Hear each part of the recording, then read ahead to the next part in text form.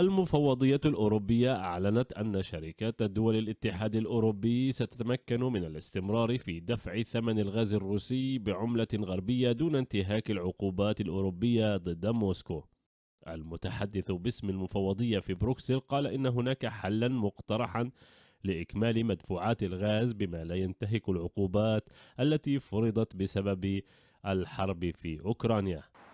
الاتحاد الأوروبي أشار أيضا إلى أن شركات الاتحاد الأوروبي يمكن أن تطلب من نظيرتها الروسية الوفاء بالتزاماتها التعاقدية بنفس الطريقة السابقة قبل تبني المرسوم وهو ما يعني إيداع المبالغ المطلوبة باليورو أو الدولار بأثر رجعي قبل تطبيق المرسوم الروسي.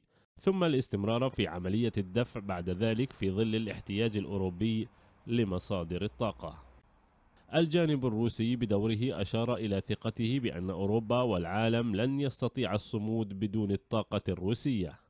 دول الاتحاد الأوروبي لن تصمد أسبوعا من دون الغاز الروسي ونقيم ثبات شركائنا الأوروبيين على ضوء البيانات الجديدة الصادرة عن صندوق النقد الدولي والتي تشير إلى أن أوروبا لا تستطيع في المجمل الاستغناء عن الغاز الروسي لأكثر من ستة أشهر.